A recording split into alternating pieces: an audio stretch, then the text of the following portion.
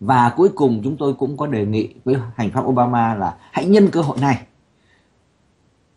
đề nghị với chính quyền Việt Nam rằng Hoa Kỳ sẵn sàng nhập cuộc để mà giúp cho Việt Nam chứ không phải cho chính quyền, giúp cho Việt Nam để đối phó với lại cái thảm trạng, cái tai họa môi sinh hiện nay. Giúp trực tiếp cho Việt Nam là sao? Là giúp cho người dân, chứ không phải giúp cho chính quyền. Chính quyền cũng được can dự với điều kiện chính quyền chỉ là phụ thuộc thôi, người dân mới là chính. Chính quyền Obama cần phải chuyển những cái tài khoản, những khoản trợ cấp đã cho Việt Nam. Đã gọi là chuẩn chi cho Việt Nam nhưng mà chưa xuất quỹ. Và trước đây những cái tài khoản đó là để gọi là viện trợ phát triển. Hoàn toàn đi qua nhà nước, không ai kiểm soát được cả. Có phát triển thực hay không, hay là vào túi mấy ông hết. Do đó chúng tôi đề nghị là chuyển cái khoản viện trợ đã được chuẩn chi cho Việt Nam nhưng chưa xuất quỹ đó, chuyển qua ngay để mà giúp trực tiếp cho người dân làm việc với các tổ chức xã hội dân sự. Ờ, đối tác với lại các cộng đồng tôn giáo độc lập mà thực sự họ thực tâm giúp cho người dân, để mà giúp cho người dân đối phó với cái tai họa ờ, môi sinh hiện nay càng ngày càng lan rộng. Thì cái đó là những cái đề nghị chúng tôi ngày hôm qua và những ngày trước đó, quốc hội có vẻ cũng thích thú lắm với cái đề nghị ấy, bởi vì họ không phải chi thêm đồng nào cả, mà lại ép chính quyền Việt Nam phải ngồi xuống làm việc với người dân. Nếu như không thì Hoa Kỳ làm việc trực tiếp với người dân Việt Nam. Dạ rất là hay à, qua cái sự chia sẻ của tiến sĩ Nguyễn Đình Thắng vừa qua đó thì à, chúng tôi có thấy một cái điều rất là vui là mong rằng cái Việt Nam chính quyền cộng sản Việt Nam đó đang muốn đó, là cái sự hợp tác giữa Việt và Mỹ ngày càng sâu sắc hơn, sâu rộng hơn. Nhưng mà bây giờ cái sự sâu sắc và sâu rộng đó không phải đến với chính quyền không mà đến với những tổ chức sau dân sự, đến với người dân thật sự và đến với à, cái quyền làm người thật sự của người dân rất là vui.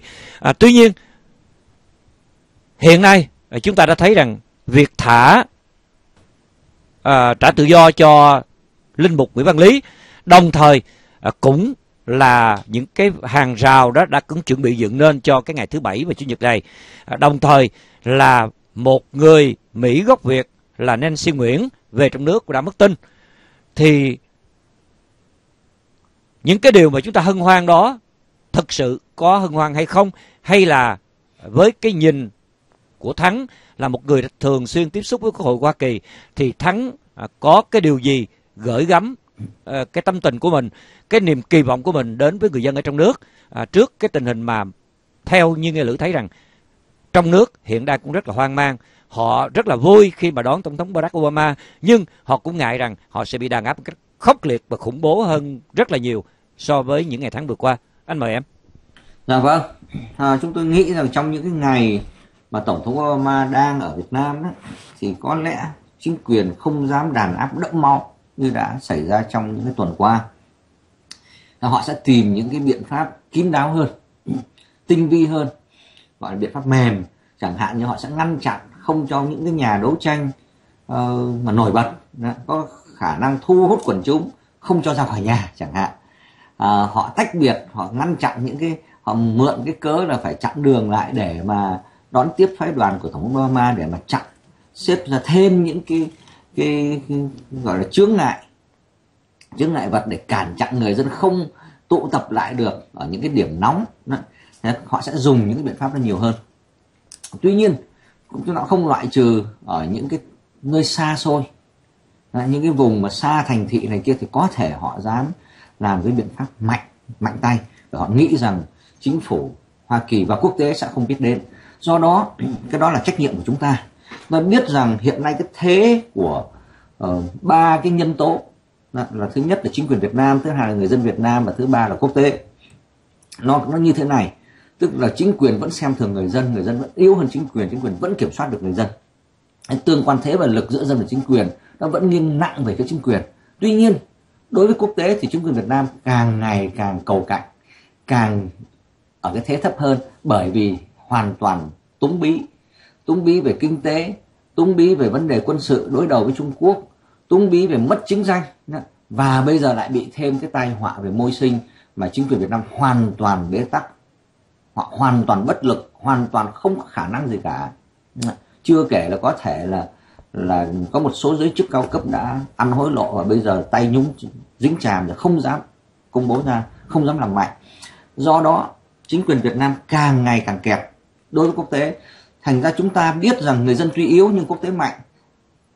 Làm sao để giúp cho người dân trong nước nương thế quốc tế trong lúc này khi mình còn yếu? Nương thế của cái lực lượng mạnh hơn để mà đẩy lùi cái sự khống chế và cái sự chuyên chế của chính quyền Việt Nam nên để mà nói một cách đơn giản thì đây là cái cái, cái kế hoạch mà tôi đề nghị và chúng tôi đã thực hiện từ 10 năm nay. Thứ nhất là dùng quốc tế vận qua cái nỗ lực của cộng đồng người Việt ở hải ngoại. Chúng ta là công dân của thế giới tự do chúng ta vận động quốc tế để kéo giãn ra. Cái cái hàng rào nó ba đang bao bọc nó siết chặt người dân ở Việt Nam. Làm cho người dân không tập hợp lại được không có tiếng nói được nó kéo giãn nó ra. Bắt đầu nó giãn ra thì nó có một khoảng không gian tương đối an toàn nó rộng hơn. Nhưng mà người dân vẫn co cụ ở giữa. Thành ra chúng ta kéo giãn ra mà người dân không nở theo cái cái độ giãn của cái không gian an toàn đó thì nó vẫn vậy thôi. Đến một lúc nào đó chúng ta không chú ý nữa, quốc tế không chú ý nữa, hoặc là Việt Nam đạt được tất cả những điều họ muốn thì nó lại thu hẹp trở lại như cũ, nó lại sập lại. Thành ra sau khi kéo giãn ra, đồng thời là chúng ta phải giúp cho người dân cũng nở ra cái lực lượng người dân, biết tập hợp, tụ hợp lại với nhau, biết liên kết với nhau, tạo được cái năng lực bảo vệ lẫn nhau tổ chức cho nhau càng ngày càng chặt chẽ và rồi nối kết trực tiếp với quốc tế. Thành ra như vậy nó cứ giãn ra ngoài, không dập lại được. Chính quyền muốn đẩy lại thì không đẩy lùi được.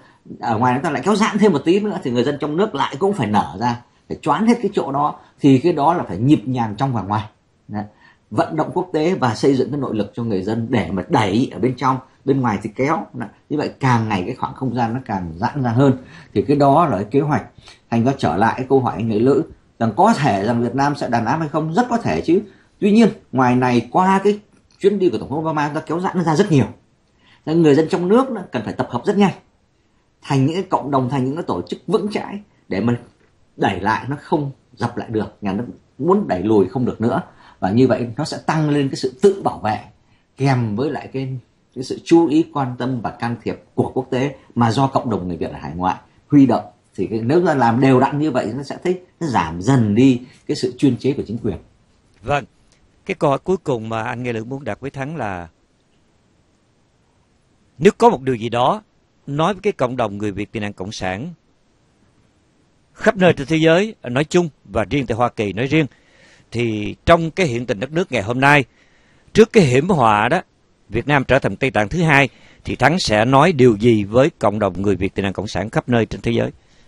Anh Bảy. Dạ vâng. Nó là chúng ta nay đã là công dân của thế giới tự do. Chúng ta là công dân của các quốc gia hùng cường nhất, giàu mạnh nhất, dân chủ nhất, nhân bản nhất trên cái hành tinh này. Và đó cũng là những quốc gia mà Việt Nam hiện nay đang cầu cạnh nhất, chính quyền Việt Nam. Nên là cần phải khai thác cái điểm mạnh của mình, cái sở trường của mình, cái thế, cái ưu thế của mình là công dân của thế giới tự do để huy động những cái chính quyền của chúng ta áp lực chính quyền Việt Nam phải bắt từng bước lùi dần ra để mở cái không gian cho người dân trong nước tập hợp lại. Cái bước thứ hai là chúng ta giúp cho người dân trong nước tập hợp lại với nhau. Để mà tạo sức mạnh và ta luôn luôn phải theo dõi để hệ mà xảy ra cái sự đàn áp và sự vi phạm những cái lời cam kết mà chính quyền Việt Nam đã cam kết với quốc tế. Bởi họ quá cần quốc tế, họ cam kết bừa. Nhưng họ không thực thi, thì chúng ta giúp cho người dân thực thi những điều mà nhà nước đã cam kết mà không có làm người dân cứ phải cứ phải làm. Đúng theo lời nhà nước cam kết, và người dân phải biết cách. Hệ mà có vi phạm thì báo cáo ngay cho quốc tế biết, để Việt Nam không qua mắt được quốc tế nữa. Và chúng ta là cái nhịp cầu ấy, nhịp cầu để báo động quốc tế, huy động quốc tế can thiệp. Nếu chúng ta làm đúng cái vai trò đó, tôi tin rằng trong một ngày tương lai không xa nó bắt đầu thấy những ánh sáng của cái nền dân chủ bắt đầu chiếu rọi xuống đất nước Việt Nam. Nhưng mà phải làm đúng và cái bước thứ ba, chúng tôi đã nói đến bước thứ hai là chúng tôi vận động. Vừa mới hoàn tất ngày hôm qua là các dân biểu thượng nghị sĩ gấp rút gửi cái thông điệp, cái lời nhắn nhủ, lời kêu gọi cuối cùng đến tổng thống Obama trước khi ông ta đặt chân lên máy bay bay đến Việt Nam. Thì cái bước thứ nhất đó là cách đây một tháng, chúng tôi đã vận động quốc hội để lên tiếng trước khi các phái đoàn tiền trạm đầu tiên của hành pháp Obama đến Việt Nam để mà thương thảo, để mà điều đình về những cái thỏa thuận trước khi tổng thống Obama đến Việt Nam. Thì đã hoàn tất và rất là thành công bởi vì cái phái đoàn tiền trạm đã luôn luôn đẩy mạnh nhắc nhấn mạnh cái vấn đề nhân quyền là ưu tiên hàng đầu. Đã, đã thành công rất rõ ràng và họ đã tuyên bố công khai tại Hà Nội. Cái bước thứ hai là vừa mới hoàn tất ngày hôm qua là nhắn gửi thêm tổng thống Obama trước khi lên đường đến Việt Nam rằng ở tại Việt Nam tổng thống Nga cần phải nhấn mạnh vấn đề nhân quyền cách công khai nói chuyện trực tiếp với người dân tiếp xúc với thành phần bất đồng quan điểm với chính quyền các thành phần đại diện các tôn giáo độc lập mà đang bị khống chế bởi chính quyền Việt Nam hiện nay. À, đòi hỏi chính quyền Việt Nam phải có một số cải tổ về luật pháp cũng như trả tự do tất cả của nhân dân. Và khởi đầu một cái danh sách nhỏ ngắn ưu tiên và đứng đầu danh sách đó là linh mục văn lý và rất cảm ơn Việt Nam đã trả tự do linh mục văn lý hoan nghênh, nhưng mà chưa đủ. Còn một trăm mấy chục tù nhân lương tâm nữa. Và cái bước thứ ba chúng tôi đã bắt đầu chuẩn bị rồi, đó là một cuộc tổng vận động ở tại quốc hội Hoa Kỳ vào ngày 23 và 24 tháng 6 tới đây. Đó là khoảng 3 tuần sau cái chuyến đi của tổng thống Obama. Thì lúc đó chúng ta đã biết ngay rằng chuyến đi ấy nó có đạt được cái thành quả nào hay không về vấn đề nhân quyền.